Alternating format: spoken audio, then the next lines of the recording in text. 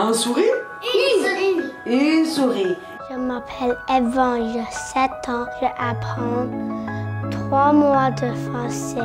On enseigne le français aux enfants pour qu'ils apprennent à apprendre en français et non pas à apprendre uniquement le français. Il y a un vrai suivi de l'élève tout au long de sa scolarité. Il tourne autour de quatre éléments clés qui sont l'élève, l'enseignant de français, le professeur des Felesco et les parents.